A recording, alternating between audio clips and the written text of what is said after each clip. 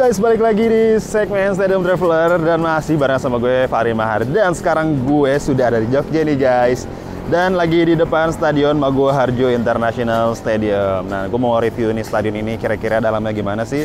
Nah, tapi bukan hanya review stadion doang, gue mau wawancara dedengkotnya BCS sih, bukan dedengkot sih ya. Oke, seniornya dari Brigata Kurvasut nih, supporter dari PSS Sleman nih. Kira-kira seberapa pentingkah sih stadion ini bagi BCS? Kalau gitu langsung aja kita ke dalam masuk aja ngelihat stadion gimana. Yuk. Nah guys, sekarang kita masuk ke dalam stadionnya. Nah ini gue lagi dari pintu utara ya. Eh pintu utara, pintu selatan. Eh selatan bukan selatan nih, pintu barat ya. Ini tempat bis kalau masuk bis pemain masuk ke sini nih. Ini untuk home ya. Ini masuknya dari sini. Bisnya masuk dan ini terhubung ke ruang ganti pemain tuan rumah. Bentar. Nah, sini masuk. Nah, langsung ke arah lapangan ya. Ini nggak tahu nih ruang apa nih gede banget sini. Mungkin kantor-kantor ya. Masuk, masuk. Nah, ini di sini juga ada musola.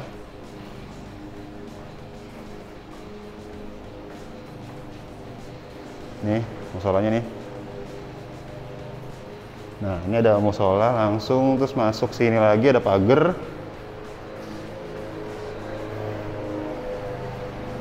Ini. Nah ini ada ruang ganti tim tuan rumah.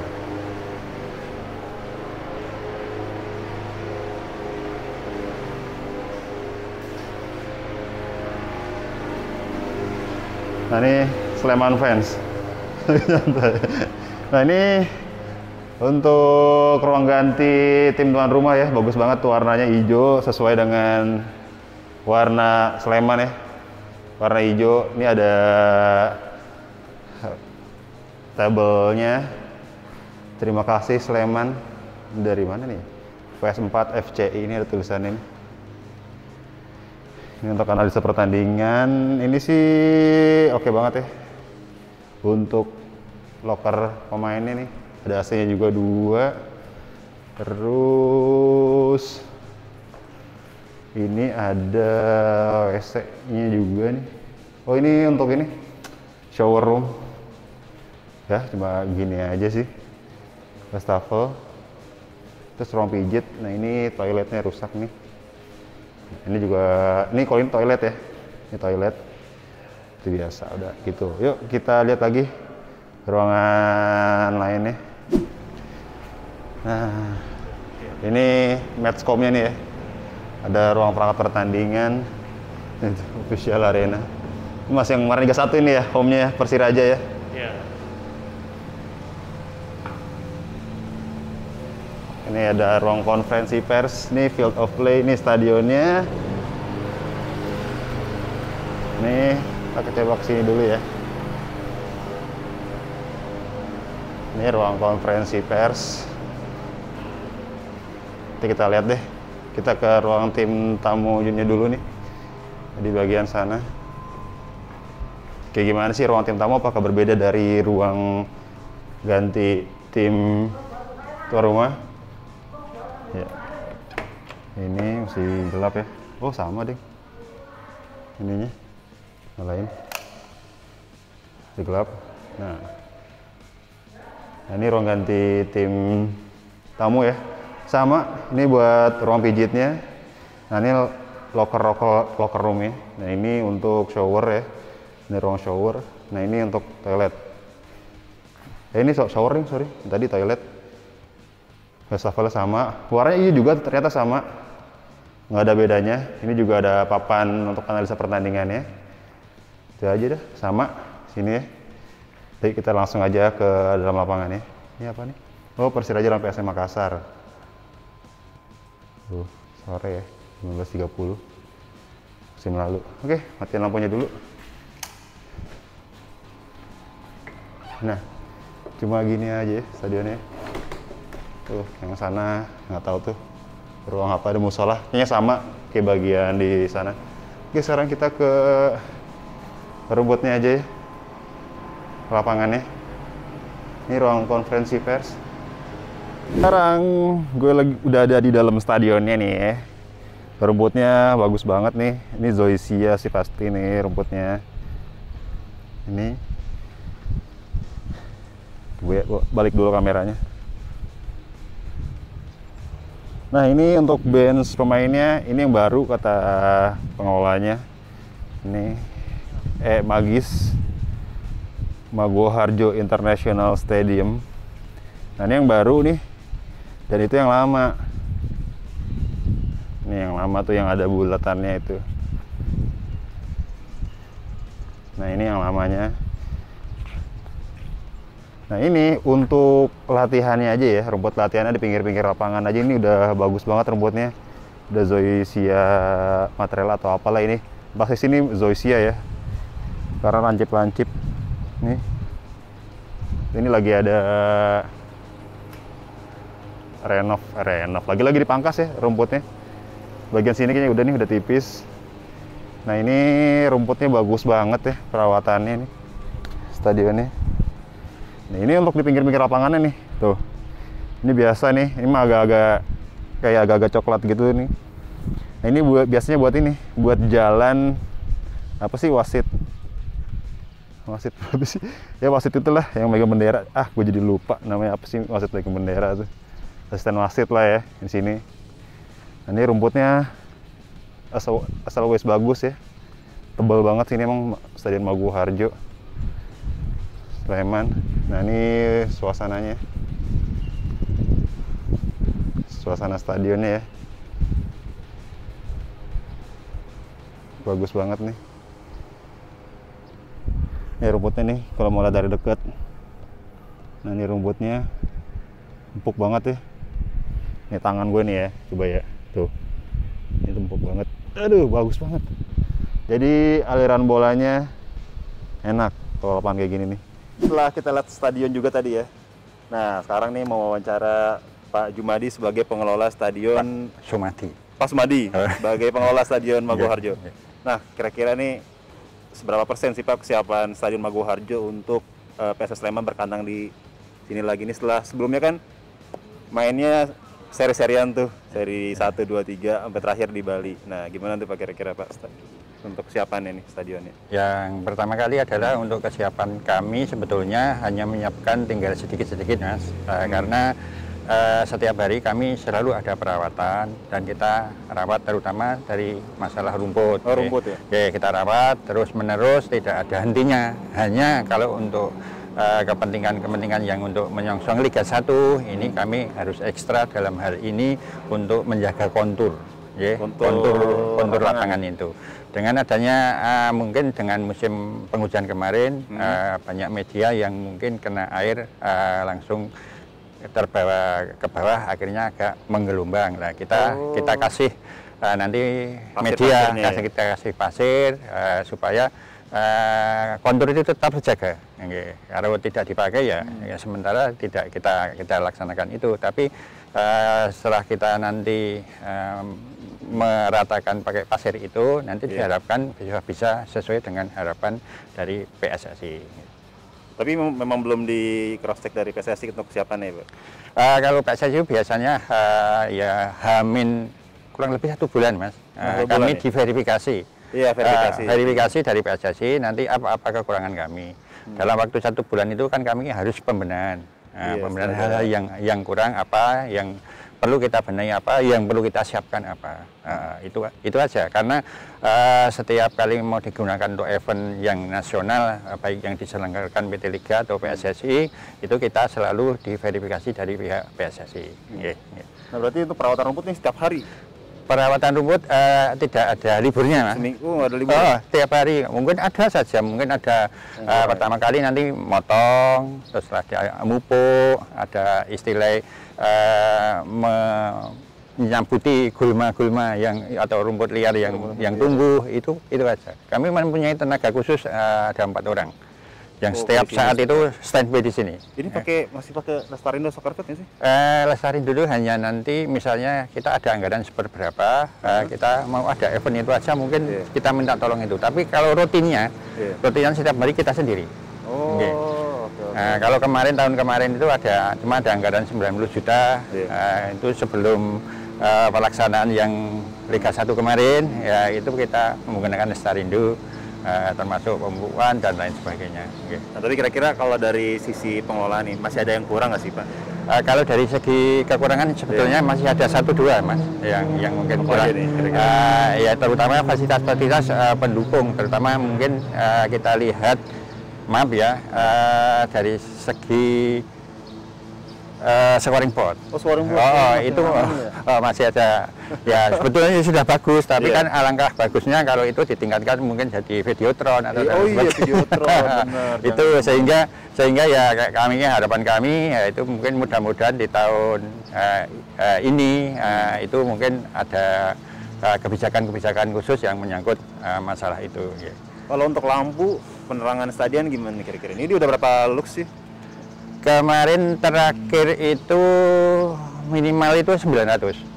Oh, 900 lux Ah, dari PSSI ya? Kita ya? Dari ini PSSI ini eh, ya ini Oh, ini sudah 900. dicek 900 eh, itu di tempat-tempat kan ada beberapa titik. Ya, Eh, jadi bayangannya ya, ah, ah, ah, sana sana sana sana itu kalau kelihatannya ada yang 800 Hmm. eh, yang tertinggi adalah 1100. 900. Ah. Oh ini ini tapi dari stadion ini sendiri memang 900 atau lebih? Eh, dulu awalnya se- 1200. Mas. Oh, ini turun. Oh, oh, iya karena Oh, apa istilah eh, Dari sudah turun. umur ya, maksudnya? Oh, oh, dari umur itu sudah turun. ah. Iya gitu.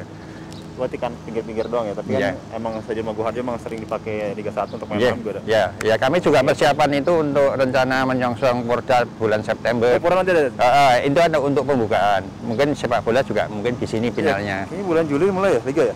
Eh, Liga kalau nggak salah itu bulan Juli. Saya Iya, dengar Juli. informasi bulan Juli akhir Juli.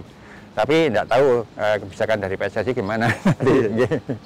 Nah tapi kalau nih kan nih kalau kita lihat nih ini belum single seat semua nih Iya. atau ma- cuma hanya cuma bagian sini ya VIP. Iya, iya. Tapi ke depannya kira-kira ada emang ada rencana nggak sih untuk semuanya di single seat kan kayak stadion-stadion modern di Indonesia sekarang kan udah pada pakai single seat semua. Iya, iya. Kira-kira gimana? Ya, pemikiran eh, kami, kami sudah aturkan ke bapak-bapak pemangku kebijakan di atas sana. Sudah dua tahun yang lalu kita sudah Oh, udah- sudah ngitungkan itu. Tapi mungkin ma- mohon maaf, mungkin anggaran eh, sekarang itu banyak kena refocusing atau dipotong untuk kegiatan eh, Tangan COVID ya. penanganan COVID itu, lah Iya. kami terpaksa, terpaksa sampai saat ini belum terlaksana. Ya tadi saya katakan yang Iya. untuk scoring buat elektrik aja itu Iya. itu satu miliar kemarin. Satu miliar. Karena revolving akhirnya nggak nggak nggak bisa terlaksana untuk tahun 2021 kemarin. Mungkin tahun ini Ya. lah insya Allah ya. Ya mungkin moga-moga. gitu. Tapi terdekat kira-kira sparring board dulu ya. Ya, ya sebetulnya eh, scoring board itu juga juga perlu, tapi kelihatannya kalau dari PSSI kemarin tidak ada apa ya, tidak ada rekomendasi untuk itu. Tapi eh, itu kan membawa nama Kabupaten Sleman juga, karena tiap tayang kita diajukan di sini Stadion Maguwojo Kabupaten Sleman, lah. Secara tidak langsungan itu promosi Kabupaten Sleman, ya. Iya, ya, ya. benar. LED board juga bu- butuh ya, kayak pinggir-pinggir lapangan itu. Ya, tipenya eh, sebetulnya sini ada, tapi manual. Oh manual iya, ya. eh, kalau ada event itu baru dikeluarkan karena Baru dikeluarin. eh, itu yang penyelenggara dari, dari PT apa eh, PT Liga itu biasanya bekerja sama dengan Panpel. Oh, Eh, kami hanya menyediakan lahan, kami menyediakan Jadi tempat, mereka, eh, mereka, aja ya. eh, Karena kan mereka. kebutuhan mereka untuk Iya, iklan iklan. iya, iya, iya, gitu. Oke. Iya. Kira kayak segitu aja pak ya. Kira-kira mau disampaikan lagi kak untuk kurangan-kurangannya bisa sampai nanti bisa ya semoga aja bisa Iya. terlaksana gitu pak. Ya, waktu dekat ini adalah kami anggarkan untuk pengecatan tribun. Oh, tribun. Eh, tribun ini mau ditacat mungkin eh, nggak nyampe bulan Juli lah itu eh, harapan kami sudah ada pengecatan Karena warna sama semua begini. eh, kita samakan warna aja. Oh, Hanya mungkin pengembangan-pengembangan kemarin eh, kami sudah diundang di ruang rapat bupati yang intinya ada konsultan yang sudah menghitung Eh, itu banyak sekali pengembangan-pengembangan antara lain eh, memajukan eh, atap tribun itu sama eh, pembaturan dan lain-lain sama penggantian lampu dan lain Iya, iya. sebagainya itu ya di anggaran itu hampir 50 miliar. Wuh. Nah, sudah disampaikan itu eh, sehingga nanti itu tergantung dari kebijakan eh, beliau pemangku kebijakan yang ada di atas sana eh, atau bupati atau ya, gitu. Berarti kita Iya. tunggu aja nih ya. Ya. Kira-kira the new stadium Ya. Maguwo Harjo ini akan seperti apa nanti ya? Iya, iya. Kalau iya. misalnya udah ada perbaikan, undang kita lagi dong. Ya, siap, siap, siap. Iya. Kan kita ribut lagi Ya. stadion barunya ini karena kan Ya. kalau jujur Pak ya dulu saya ngeliat pertama kali lihat lihat stadion ini ini mungkin Ya. udah modern ya karena Ya. kan satu-satunya ya, Ya. pionir Ya. eh, stadion yang tanpa apa tanpa letak larinya kan. Iya. Udah gitu rumput di bagian untuk pelatihannya juga udah keren banget Iya, ini. iya. Kita lihat ini. Iya, iya. Jadi nggak perlu di lapangan lagi karena takut Iya, rusak iya. buat pertandingan akhirnya di Ya, pinggir. iya. Oke, ke situ aja nih. Ya, ya. Eh, wawancara kita sama Ya. Pak Sumati. Sumadi Ya. sebagai pengelola Stadion Harjo Stadium. ya. Oke, thank you, Pak. Terima kasih.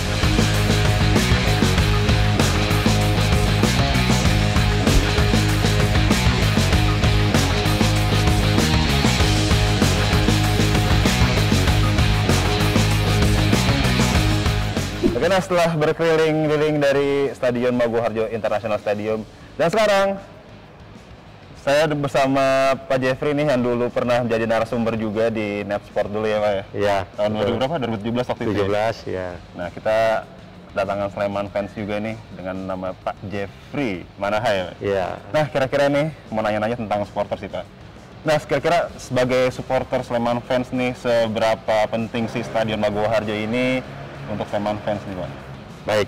Hmm. Pertama terima kasih Mas Fahri. Iya. Kami Sleman Fans Iya. menyadari betul bahwa Maguwo Harjo ini Hmm. sangat melekat dengan tim kebanggaan kami PSS Sleman. Ini stadion identitas kami, penuh sejarah, Hmm.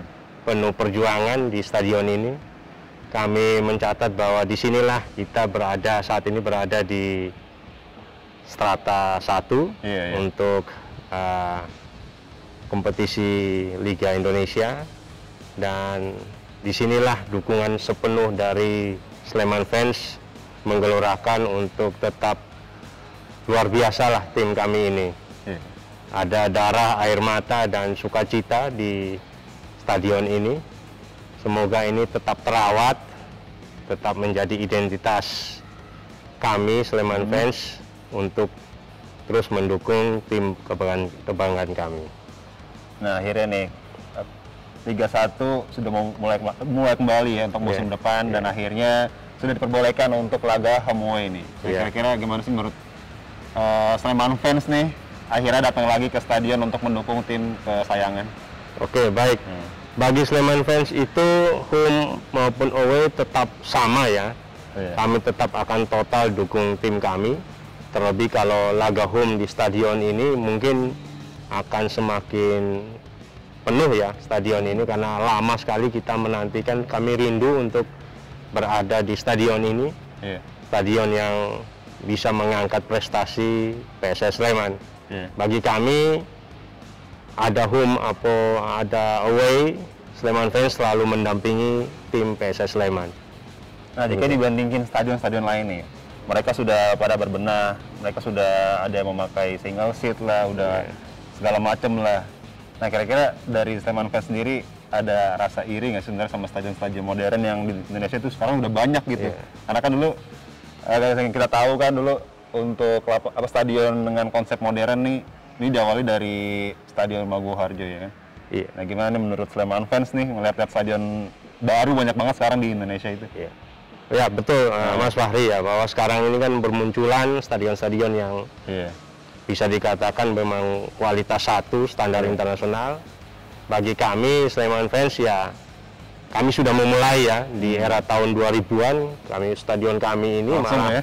lebih nyaman menurut saya ya tanpa Tanpa trek. ada trek lari, Lari. kami nonton lebih dekat dengan menonton Pemain begitu. iya. Jadi kami percaya bahwa hanya masalah dana aja mungkin Hmm. nanti ini akan di-upgrade biar sejajar dengan stadion-stadion yang terbaru saat ini. Karena butuh dana besar ya untuk Hmm. Iya. harus ada single seat, harus ada LED, Hmm. oh iya kemudian eh, apa eh, fasilitas pendukung lainnya. Tapi lambat laun cepat atau lambat mungkin investor-investor akan datanglah untuk bisa bersinergi dengan pemerintah Kabupaten Sleman untuk meningkatkan kualitas maupun fasilitas Stadion Maguwo Harjo ini. Nah, oke nih. Sekarang yang terakhir nih, harapannya sih harapannya apa nih dari Sleman fans untuk tim kebanggaan dan Stadion Maguwo Harjo ini nih? Oke. Nih, Om? Ya, untuk Hmm. sama kalau kita melihat tim maupun stadion ini ya kita rawat bersama. Kita jaga Hmm. fasilitas yang ada, kita jaga kebersihannya sehingga stadion ini mungkin dengan konsep yang saat ini yang sudah cukup modern tetapi setiap match itu kita bisa jaga kebersihan tertib begitu. Hmm, hmm, hmm. kemudian masuk dengan tiket, kemudian ya. duduk dengan uh, nyaman begitu, kemudian terlebih habis match kita membersihkan sama-sama stadion ini dari sampah-sampah itu. Ya. Bagi saya itu satu kesatuan, jadi kita mendukung uh, tim kebanggaan kita bisa menang di Stadion Maguwo, begitu pula kita merawat stadion ini dengan cara-cara yang sederhana. Mungkin stadion ini akan uh, lebih bersih kan begitu. Kemudian ya ke depannya targetnya ya mungkin stadion ini di tribun tertentu ya mungkin sudah tanpa asap rokok begitu. Oh iya betul ya. Nah itu ke depannya itu mungkin di uh, tribun biru yang nanti di situ banyak uh, anggota keluarga gitu yang sekarang menjadi Sleman fans mungkin di sana tanpa asap rokok kan begitu. Jadi sama-sama kita uh, merawat stadion ini kemudian mendukung tim kebanggaan. Demikian mas. Oh ya, satu lagi deh terakhir nih. Iya. Nah dulu kan sempat tuh kampanyekan eh, stadion ramah anak. Iya. Kira-kira sekarang tuh gimana update-nya ini? Oh sudah sudah berjalan. Jadi sekarang tiket uh, khusus anak itu menjadi apa? Menjadi uh, identitas juga kan begitu di Stadion Maguwo. Karena setiap PSS main sekarang tiket khusus anak sudah ada? sudah ada. Tapi Sudah harga, harga berbeda. Ya harga berbeda. Dari pengelolanya sendiri. Iya bukan dari, Dari- pantelnya. Oh pantel. Dari pantel sudah menyiapkan uh, tiket khusus anak itu, Hmm. gitu. Jadi itu kan bagian dari edukasi awal ya kita lakukan Iya. itu. Jadi anak-anak rasa memiliki dengan tim PSS itu, kemudian dia membeli tiket. Saya rasa ke depan dia beranjak dewasa pun kesadaran itu ada. Jadi dulu kita bilang no tiket no game, Iya, iya. kemudian mandiri menghidupi itu itu Oh, iya. sudah jadi akar uh, dalam uh, pengembangan sepak bola begitu. Ya. berarti gitu ya. Jadi sekarang tuh stadion memang harus ramah anak. Karena kan dulu kan eh, dalam pikiran orang-orang tua tuh ke stadion pasti ribut. Iya. Stadion pasti ini berantem. Iya. Jadi mereka kan agak-agak ada rasa takut ya untuk datang Iya. ke stadion ya. Nah ini Bang Jeff nih dulu emang udah keren banget dari Iya. tahun 2017 mulai ya. Ya, ya itu.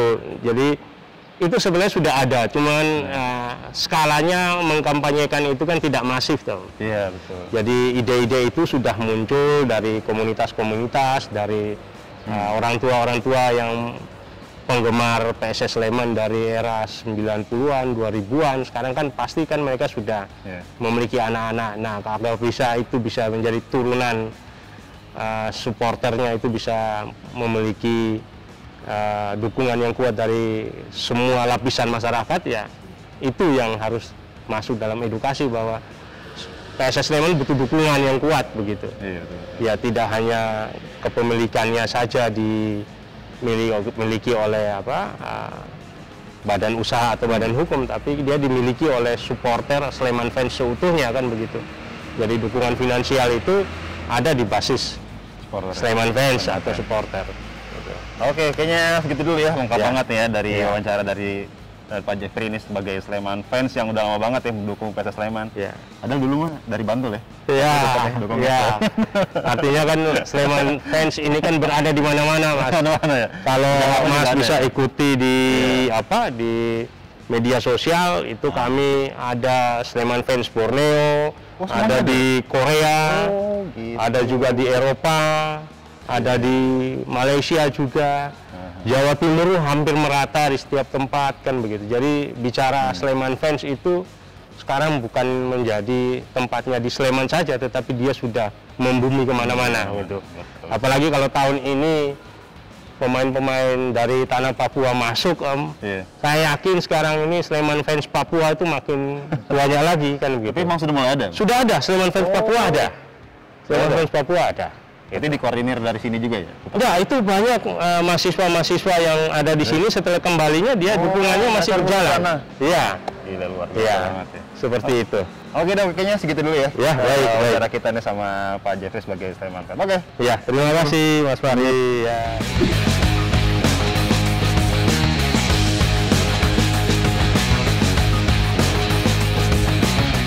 Nah nih guys, gue lagi ada di tengah-tengah lapangan. Kayaknya segitu dulu ya di Stadium Traveler Maguwo Harjo International Stadium. Tadi dari awal kita juga udah lihat ruangan-ruangan ruang gantinya gimana, terus ruangan-ruangan yang lainnya gimana. Kita juga udah wawancara sama fans Sleman dan pengelola dari Maguwo Harjo International Stadium ini kira-kira seperti apa uh, persiapan untuk PSS Sleman berkandang di stadion ini lagi setelah musim lalu kan ya you know lah ada seri 1, seri 2, seri 3 terakhir di Bali ya. Yaudah guys, segitu dulu ya. Jangan lupa di subscribe, di like, dan di komen nih. Biar bolanya supaya monetize. Sampai jumpa di stadion yang gak kalah keren dari stadion ini. Bye-bye.